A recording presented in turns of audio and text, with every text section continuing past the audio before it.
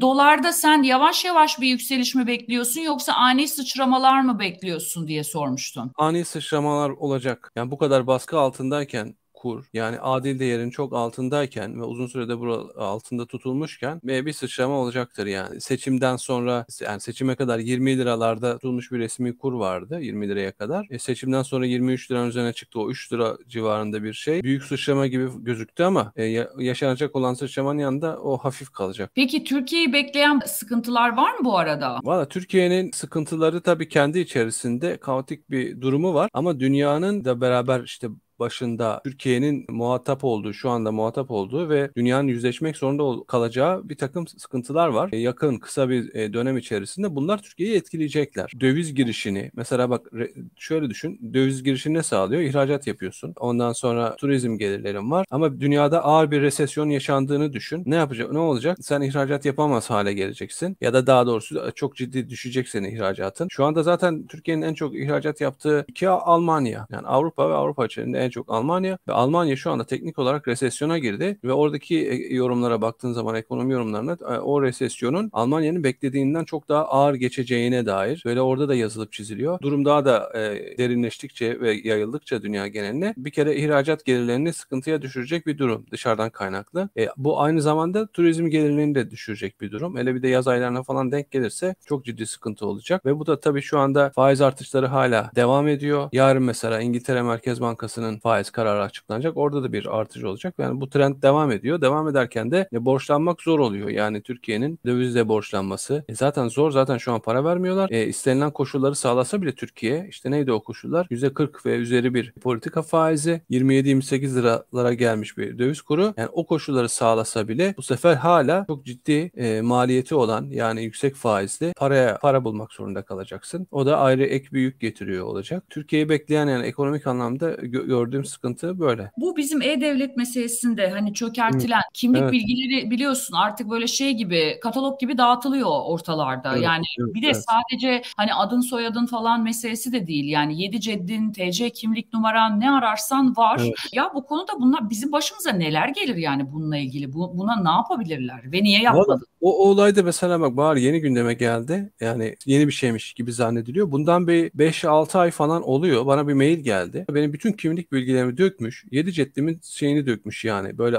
ta, ta, akrabalarım falan şunlar hepsi ismi geçiyor. Bütün dök, böyle aile dökümleri her şeyi var yani içinde. Her Aynen. şey var. Ondan sonra dedim bu ne ya falan bana nereden bulmuşlar? Hani şeyler oluyor ya insanları böyle aldatıyorlar. İşte bak diyor işte kimlik bilginiz elinde yok para getirin şu bu. Bu, bu geçmişte de çok yapıldı. Acaba öyle bir şey mi diye düşündüm ki öyle olmadığını daha sonra anladım. Hakikaten samimi birisi atmış o mesajı. Bak bunlar var seninki de var herkesinki var herkesinki. Ondan sonra işte o dönem e, bizim arkadaşlar onu Twitter'da e, gündeme getirdiler. Da bakanları falan da etiketleyerek Erkan Türük'ten hatta orada ön plana çıktı. Dava bile açamadılar çünkü gerçekti yani. O zaman hiç kimse ciddiye almadı. Devlet ölü taklidi yaptı. Resmen ölü taklidi yaptı. Bu yeni bir şey değil. Bütün Türkiye Cumhuriyeti vatandaşların herkesin yani siyasiler dahil bakanlar kim aklına geliyorsa askeri herkesin yani bu aynı zamanda bir ciddi bir istihbarat sorunu anlamına da geliyor yani. Ha, bu bir rezalet yani. Büyük bir skandal. Basın özgürlüğünün e, olduğu en azından nispeten olduğu bir ülkede gerçekleşmiş olsaydı bütün ülke çalkalanırdı. Ama bak Türkiye'de bir tane medya bunu haber yaptı mı özellikle yandaş medya diye e, telaffuz ettiğimiz bir tane haber olmaz mı ya bu kadar büyük bir şeyle ilgili bir skandalla ilgili ama tabii ölü taklidi yapmaya da devam ediyorlar. Dünyada ne oluyor? Orada da garip garip işler var. Dikkat ediyor musunuz? Elon Musk'ın son bir aydır yaptığı ziyaretlere bakın. Fransa'ya iki ziyaret yaptı. E, Macron'la görüştü. İtalya'ya gitti. E, Meloni ile görüştü. Ülkelerde böyle başbakanlarla görüşüyor. En son Hindistan'a gitti. Modi ile görüştü. Fotoğraflar falan filan da zaten servis ediliyor, düşüyor. Ya bu adam bir iş adamı ve gidiyor bütün dünya ülkelerinin başbakanlarıyla böyle bir e, diploması yürütüyor. Bir şeyler görüşüyor falan. Hatta Türkiye'ye geldiği zaman da bir birkaç sene önce hatırlar mısınız? Cumhurbaşkanı Erdoğan'la görüşmüştü. Türkiye'ye gelmeden işte bu bahsettiğim görüşmelerin hemen öncesinde de o da geçen aydı galiba. Çin'e gitmişti. Çin Dışişleri Bakanı ile görüştü falan. Tabii söylenen şu. Tesla şirketinin yatırımları ile ilgili görüşmeler yaptığına dair bir şeyler söyleniyor ama işin arka planında tüm dünyayı ilgilendiren en önemli yatırımı aslında bunun Starlink ve dünya üzerinde uydularla bir network oluşturularak dünya yeryüzündeki bu fiber optik sistemleri bir alternatif gibi dünyada internetin sahibi olmak, interneti tek eline almak gibi bir gündemi var zaten. Bunu biliyoruz. Ülkelerle görüşmeden de yapabilir. En ucağı dağ köylerine kadar ulaştırabiliyor. E sadece bunu daha böyle barışçıl yöntem yöntemlerle böyle onay alarak yapılması gündemi var. Ama izin vermese bile bunu yapabilir. Yani mesela İran'da yapmışlardı. İran'da bu sokak olayları, isyanlar devam ederken mesela Ukrayna'da durumlarda da devreye sokulmuştu bu sistemler. Dünyada böyle bir e, gözetim sistemi, böyle bir tekelci e, bir internet network sistemi oluşuyor. Ondan sonra bunu bir tarafa koyalım. Yani hepsini bir tabii sonra birbirleriyle ilişkilendirelim. Amerika'da Mart ayında bankaları batıran durumun aynısı şu anda İngiltere'de oluyor. İngiltere'den batık banka haberleri duymaya hazır olun. Onu söyleyeyim. Tabii bu da dünyanın nakitsiz ortama gittiği CBDC dediğimiz yani Merkez Bankası dijital parası dediğimiz e, sistemlerin uygulamaya geçeceği bir tarihe denk geliyor. E, Temmuz ayında mesela geniş kapsamlı uygulaması Amerika tarafından başlatılıyor. E, o yaşanan bütün olaylar üst üste gelmesi benim kafamda çok ciddi soru işaretleri oluşturuyor. Mesela Anonymous Hacker grubu bir yayın yaptı geçtiğimiz günlerde. Dedi ki Avrupa'daki bankacılık sisteminin altyapısını çökerteceğiz dedi. Hatta bunu yaparken de Ukrayna e, rejimini de hedef aldı e, videosunda. Ondan sonra tabii en son bir saldırı yaptığını söyledi. Ukrayna üzerinden şey yapılıyor ve direkt hedef olarak Rusya gösteriliyor. Rusya'nın gösteriliyor olması böyle bir hedefi. Ondan sonra Tereden bankacılık e, krizinin orada batan banka haberlerinin gelme riskinin olduğunu. Bunun üzerine bunun suçunu yükleyebilecekleri bir hacker grubunun şeyini ortaya atmaları. Ki öncesinde de zaten e, Klaus Schwab'ın açıklaması vardı. Hacker saldırıları Covid'den daha büyük tahribat yaratacak falan demişti. Amerika'da NSA'den, işte Ulusal Güvenlik Ajansı'ndan bununla ilgili açıklamalar gelmişti. Hatta Nükleer Güvenlik Ajansı'ndan bile hackerların ne kadar büyük tahribat verebileceğini siber terör olarak adlandırmışlardı ve bunu sanki sahneye koymuşlar gibi göz, gözüküyor. Amerika'da bu askeri hareketlilik e, bir sokaklarda hani sürekli evet, bir evet. görüntülüyor bir askeri tabii, hareketlilik var. Bu nedir Allah aşkına? Tabii, tam oraya da geleceğim şimdi. Bak bütün hepsi bunların üst üste geliyor. Tam bu dönemde bir askeri tatbikat Almanya hava sahası üzerinde NATO tarihinin en büyük askeri hava tatbikatı gerçekleşiyor ve 250 savaş uçağı var bu tatbikatın içerisinde. Şu an hala devam ediyor Almanya'da. Tabii bu devam ederken Rusya Dışişleri Sözcüsü e, Maria Zakharova'dan bir e, açıklama geldi. O da daha bugün yeni Twitter üzerinden attı. Air Defender 2023 bu gerçekleşen tatbikat zaten Rusya var senaryosunda. Rus tehdidi e, şeyi için e, gerçekleşen bir tatbikat. Dedi ki işte bu e, bu, ta, bu tatbikatın yapılması karşılıksız kalmayacaktır diye. Aynen bu ifadeleri kullandı İngilizce bir paylaşımında. Şimdi bak hep üst üste hep üst üste bak görüyor musun? Bu işte bankacılık tehdidi batıyor. Ondan sonra suçlayacakları yer belli, adres belli. Rusya. Yani bu illa bu Haziran'da olur sonrasında olur fark etmez. Onu, bunun şeyini oluşturuyorlar. Altyapısını oluşturuyorlar. Ondan sonra e, tabii şeyde e, Politico der, şey, dergisinde de şöyle bir makale yayınlandı. Şimdi Amerika dedin ya konuyu Amerika'ya getireceğim. Evet. Amerika'da e, inanılmaz bir askeri hareketlilik var. Böyle e, devasa askeri konvoylar böyle sokaklarda, yollarda hatta şehir merkezinde falan böyle geçiyorlar ve bunların görüntüleri hiçbir tane konvansiyonel medyada haber olmuyor ama Amerika'da bunları sokaklarda insanlar görüyor. Te- cep telefonlarla kayda alıyor, çekiyor ve bunlar sosyal medyada paylaşılıyor. Benim önüme böyle son birkaç gündür patır patır bir sürü şey düşüyor. Amerika böyle farklı eyaletlerinden görüntüler geliyor. Hatta mesela sadece kara taş hava e, kara savaş araçları değil böyle helikopterler falan bir tane gördüm. 100 tane belki helikopter helikopter arka arkaya geçiyor. Ne Ondan anlatıyor yani bu? Ne, ne, oluyor falan. Hemen şimdi orada ne olabiliyor olabilir şeyini düşündüğümde ben ben şöyle bir yorum yapmıştım. Dedim ki yani Amerika'da bir iç karışıklık meselesi özellikle şeyden beri 2021 Ocak yani kongre baskınından beri bu şey gündemde. Böyle bir Hı. şey de var. Biz öncesinde de konuşuyorduk zaten yani o 2021 seçiminin öncesinde de bu senaryoları gündeme getirmiştik zaten. Dedi en son Politico dergisinde ki bu da istihbarat bağlantılı, CIA bağlantılı bir dergi dergidir. Yani böyle bazı şeyler var, yayınlar var yani. Bir makale yayınlandı. Bu da yeni yayınlanan bir makale. Şey diyor makalede, bak var çok ilginç tabirler, ifadeler kullanıyor. Diyor ki Amerika Birleşik Devletleri'nde 2024 seçimleri yaklaşırken iç savaş riski var. Bak düşünebiliyor musun? Yani Politico gibi bir dergide böyle bir cümle var. İç savaş Şeyde, riski var. Diyor. Yani en son 1800'lerin sonunda bırakmışlardı iç savaşı evet, hatırlıyorsan evet. daha çok Aynen. kölelik meselesi yüzünden. Yani bak çok güzel bir yere temas ettin. Kölelik meselesi üzerinden. Çünkü o dönem bir paradigma değişimi yaşanıyordu. Endüstri evet. devrimi daha Amerika'ya yeni gitmişti.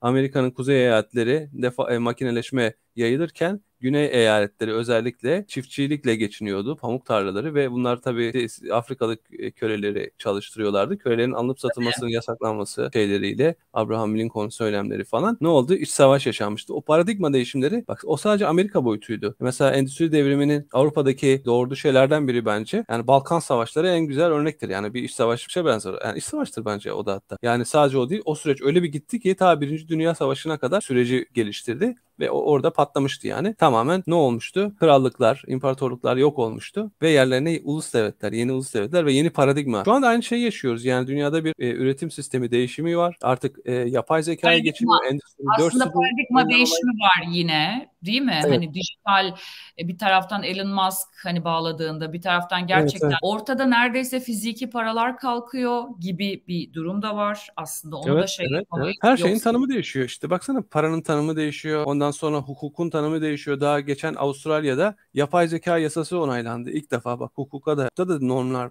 şeyler, terimler, kavramlar her şey değişecek. Tabii o baş upuzun bir konu da bir doktor bile mesela ameliyat uzaktan ameliyat onların bile şeyleri gelecek yani e, regülasyonları. Yani her şey de şey değişiyor.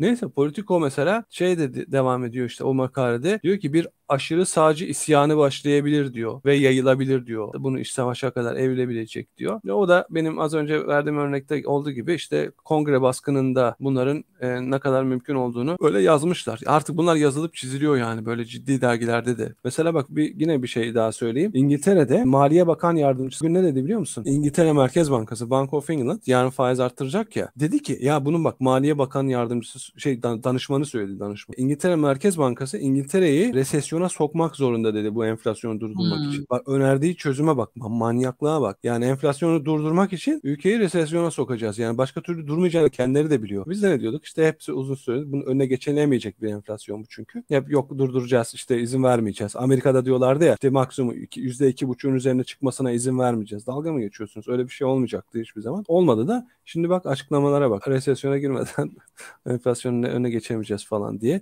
Yani o, o da yani faizi yani yüzde 4.75'leri falan değil. 5'in de üzerine çık. Uç uç diyor yani. E, dünyada böyle bir gergin ortam var ve öz- özellikle de işte bu önümüzdeki bir, bir hafta 10 gün falan her an her şey olabilir yani öyle. Bu senin de tweetin vardı. Amerika e, FDA Elon Musk'ın Neuralink beyin çiplerinin insanlar üzerinde kullanılmasını onayladı diye.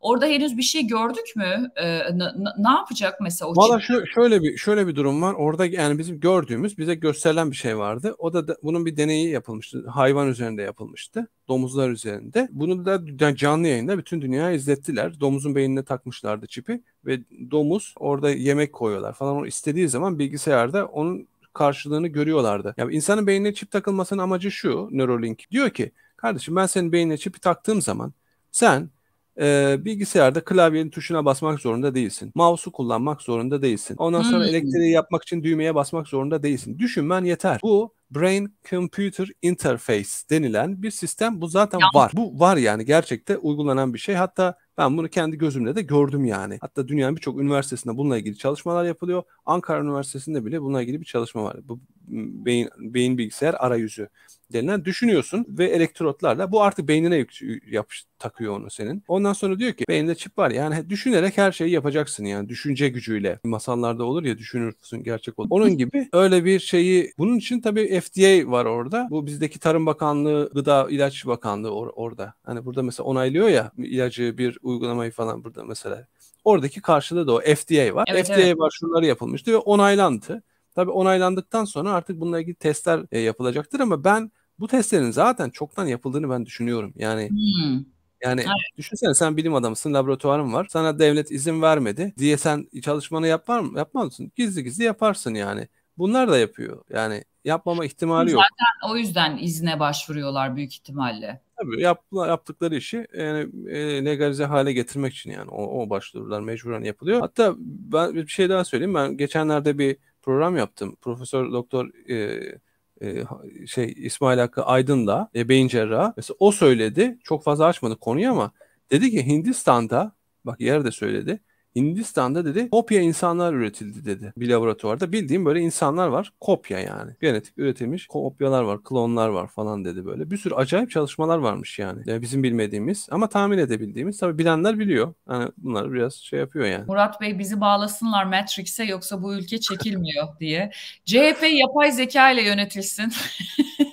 herkes bence okey olur yani hiç problem yok. Zaten bak ne güzel söyledin. Şimdi yapay zeka ile yönetilsin ifadesi yakın zamanda çok duyacağız. Bu CHP için söylemeyecekler bunu. Tabii ben yönetim yönetim kavramına karşıyım da yönetilmeyi şey yapmıyorum da.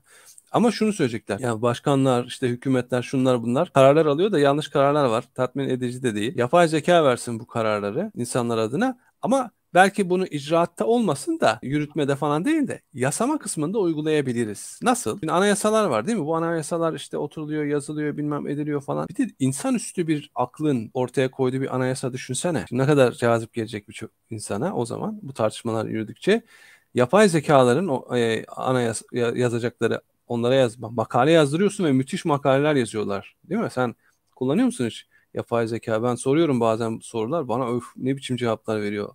Yani müthiş. Neyse bu anayasalar aynı zamanda ne olacak? İnsanüstü bir aklın insana indirdiği bir kitap biliyor musun? İş nasıl bir şey iniyor? Yani ilahi bir boyut kazanıyor. Tabii o da işin biraz fütüristik tartışma boyutu. Ona da böyle bir işaret edeyim dedim.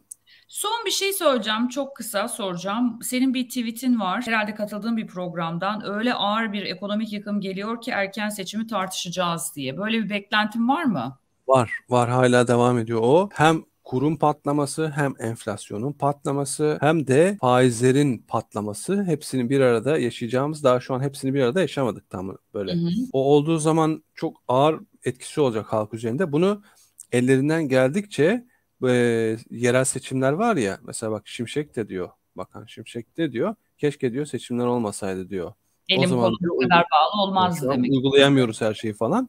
Ha? Yani Ondan sonra bunlar uygulamaya geldiğinde bunu beklet yani geciktirmeye çalışacaklar 2024 Mart'ına kadar ama ben o kadar dayanabileceklerini zannetmiyorum. Ben bunun 2023 yılı içerisinde gerçekleşeceğini bekliyorum. Zamanı hiç önemli değil ama bu gerçekleşeceği yani kesin gözüyle bakıyorum. Ama büyük ihtimalle bu sene olacak o. Ondan sonra ne olacak? Herkes diyecek ki yeter artık diyecek. Aç kaldık. AKP'ye oy verenler bile lanet edecekler.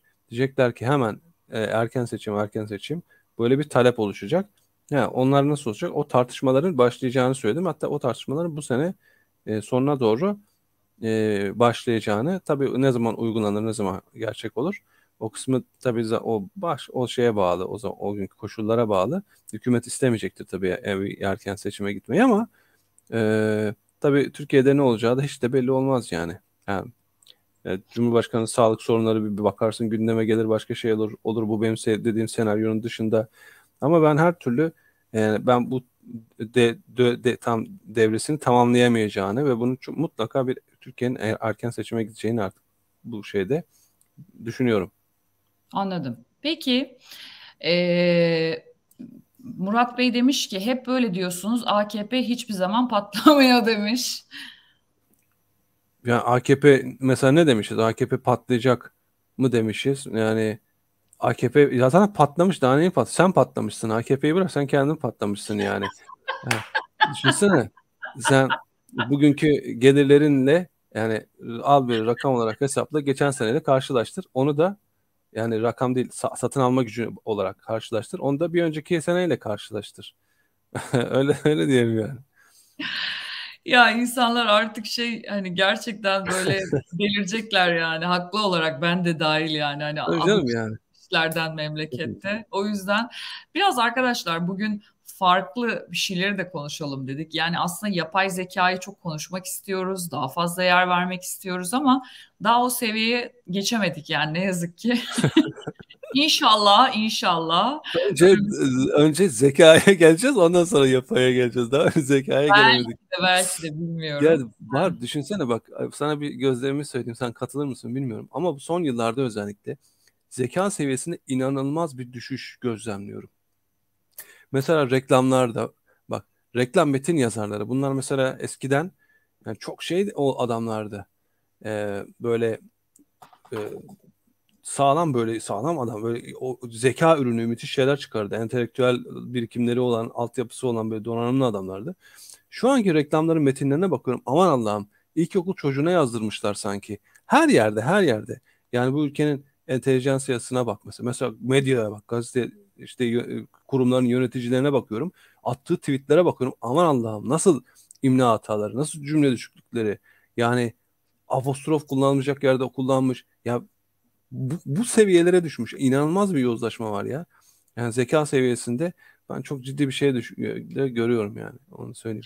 Yani sosyolojik belki açıdan bakmak lazım. Bunun çok sebepleri olduğunu düşünüyorum ben. Aynı zamanda firmaların da ucuz eleman istihdam etme sevdası da var yani bunun içerisinde baktığında. Öyle değil mi? Tabii tabii ama bu ne oluyor? İşte zeki olanı, kalifiye olanı e, ve dünyanın her yerinde bunu ka- karşılığını alabilecek insanları bir kaçırıyor. Beyin göçü, inanılmaz bir beyin göçü var, tamam mı? E, Çünkü geriye ne kalıyor? Kendine başka geriye bir yol kalanı, Tabii geriye kalanın ortalaması, ortalama zekası bu sefer ne olmuş oluyor? E, düşük oluyor. O da sana böyle yansıyarak gö- gözüküyor karşına. Yani aynısı medyada da yaşandı. Çok evet. zamandır yani yıllarca ya işte kalifiye e, elemanlar, gazeteciler çalıştırmayalım. Zira hani hem siyasi görüşleri var hem de zaten pahalı istihdamları var diye mesela yeni mezunlar veya işte daha hani an, neredeyse apolitik düzeyde işte gazeteciler ve henüz gazeteci olmayanlar neyse çalıştırılınca medyanın hali de yani çöktü. Çok doğru yani kalifiye eleman sadece şey değil hani pahalı olması değil bir özgül ağırlığı meselesi de var. Sektörü taşıyor, e, markayı taşıyor, firmayı taşıyor. Çok önemli şeyler aslında bunlar da. Yani biraz o hani şu konuya da dayanıyor biliyor musun Hamza? Hani Türkiye'de hep tartışılır ya ya biz niye marka olamıyoruz, niye marka olamıyoruz? Bence tam olarak bu yüzden marka olamıyoruz. Evet, evet kesinlikle. Yani biz tabii kendi hayatımızdan da gözlemlerimiz de vardı yani böyle inanılmaz o yozlaşmaya dair. Neyse yani işi böyle kişiselleştirmemek için onlara girmiyorum ama öyle de bir e, durum da maalesef var. E, bu da sıkıntılı yani. Aynen. Asgari ücretle ilgili bir şey diyecek misin son bugün hani bugünün taze şeyi? Valla asg asgari ücret işte 11.402 lira oldu. Ya o çıktı. İşte %34 falan oluyor işte yüzde yani 35 civarı bir şey de ona. Yani bu e, tabii ki e, bugün yani şey artmış gibi gözükse de yani bu bunun etkisi yani bir, iki, bir ay içerisinde, bir buçuk ay içerisinde enflasyon olarak görüldüğünde artmamış gibi olacak. Asgari ücret alım gücü bakımından artmayacak, düşecek. Yani evet. kandırmaca, kandırmaca. Başka bir şey. Sen fiyat istikrarı sağlamadan e, ücretleri artırsan ne olur, arttırmasan ne olur yani. Ee, çok güzel bir yorum var. Google artık her şeyimizi biliyor Hamza. Google kişiye özel reklam getiriyor artık. Metin yazarına gerek kalmadı diye. Bu tabii işin başka bir yanı yani ayrıca tabii, da.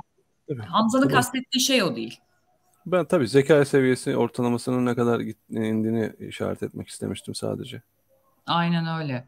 Peki şimdi e, var mı ekleyeceğim bir şey? Benim sormayı unuttuğum. E, yok. Yani böyle durumlar işte böyle. Hı hı. Bitcoin'e ilgili bir şey söyleyecek misin? Kendisinden haber alınamıyor. Valla Bitcoin en son bugün baktığımda 29 binleri bir görmüştü. Sonra son haline bakmadım da. Şimdi e, halving de yaklaşıyor. Halving sezonu. Yani 4 senede bir bu ödül yaralanması denen olay var ya ve fiyatlar Hı-hı. çok yükseliyor. Şimdi Bitcoin ile ilgili bence en son dönemin en önemli görüş, e, gelişmesi BlackRock diye bir tane şirket var Amerika'da. Yani dünyanın sahibi olan şirketler var ya işte onlardan Hı-hı. bir tanesi o. 11 trilyon e, dolarlık Bitcoin ETF'i e, almak için Amerika'da e, SEC diye bir kuruluş var. E, yani buradaki TMSF gibi düşün yani. Yani ya da şey gibi BLDK gibi düşün. Ona onun karşılığı e, lisans başvurusu yaptı. Daha onaylanmadı ama yani bu onaylanacaktır büyük ihtimalle çünkü BlackRock sonuçta yani devletin de her şeyin sahibi orada. O, bir abartmıyorum bunda. E, bu olduğu zaman ya yani 11 trilyonluk ETF demek Bitcoin'e büyük bir saldırı demek. Ben yani şöyle düşün. O 21 milyon e, Bitcoin toplamda olabilir. Şu an 19 milyon kadarı var işte madenlerden çıkarılmış. Onu ben geçen böldüm. Yani bilmem kaç yani şu an e, rakam kaçtı hatırlamıyorum ama böyle milyon gibi bir şeydi. Şu an olduğunun E, pardon yani milyonu. E, 21 milyon değil. Kaç? O, 20 katı falan. Yani ne yapıyor? 400 milyon falan Bitcoin varmış gibi. Böyle saçma sapan bir şey oluyor. E, yani Bitcoin'e karşı bir aslında bir savaş gibi. Açılmış bir savaş gibi var. Yani e, eski merkezi e, para yapılarının Bitcoin'e de bir yani çünkü niye bu başvuru bu dönemde geldi? Mesela bak o da aynı şey. Aynı bu döneme denk gelmesi. Ee, bu finansal sistemdeki bir çöküşün, bankacılık sistemdeki bir donmanın e, ka- karşılığında bunlara herkes oraya saldıracak ya. Orayı da ele geçirmek istiyorlar. Ama tabii her ne olursa olsun bunu da yapsalar Bitcoin'de çok ciddi bir yükseliş sezonuna yaklaşmak üzereyiz. Yani hmm. her halving de geliyor zaten. Bir diğer bir taraftan da o var. Yani bunu yapacağı zaman mutlaka şunu yapacaktır. Önce bir fiyatı bir dibe çekip toplayıp piyasadan ondan sonra kendi satacağı zaman fiyatları böyle e, 300-500 bin dolarlara kadar da ittireceklerdir. ondan sonra bir de tekrar düşüş olur, sert düşüş olur ama ama öyle bir şey e, olacaktır. O da e, onun yaklaştığımız bir dönem olduğunu izliyor, izliyoruz yani. Peki Hamza çok teşekkür ediyorum yorumların için. Bu arada yorumluyorum arkadaşım seçimlerde müesses nizam etkili oldu mu demişsin. Müesses nizam bunun 2000'lerdeki 2020'lerdeki moda ismi yeni ismi. 90'larda da derin devlet 2000'lerde falan derin devlet diye. Hayır daha çok basiretsiz siyasetçiler etkili oldu ama nedense suçu ve öz eleştiriyi kabul etmedikleri için genelde derin devlete, müesses nizama böyle kavramlar geliştirirler yersen diye. Orada yaparlar. Benim fikrim bu. Hamza başka bir şey düşünür mü bilmiyorum. Öyle bitirelim istersen. Evet, ben bunu her iki faktörün senin dediğinin de çok e, önemli olduğunu ama diğer bir taraftan da onun da e, bir bir, do, bir takım dokunuşlarının olduğunu da ikisini bir arada düşünüyorum. Peki. Var mı bir bilgi dokunuşlarına istinaden? Valla duyuyoruz sağdan soldan böyle kulis e, olarak ispatlayamayacağımız şeyler duyuyoruz. Ee, ama bir şey düşündüğüm zaman da bir şeyler de var. Ama tabii mutlak belirleyici onlar değil yani. Belirleyici olan maalesef e, bu ülkenin insan kaynağı ve o insan kaynağından beslenen siyaset. Aynen öyle bence de. Peki çok teşekkür ediyorum. Ee, istersen beraber de veda edebiliriz. Herkese çok tamam. teşekkür ediyorum izlediği için, burada olduğunuz için, destekleriniz için. Beğenilerinizi unutmazsanız çok sevinirim arkadaşlar. İyi akşamlar, iyi geceler. Yarın görüşmek üzere. Hoşçakalın.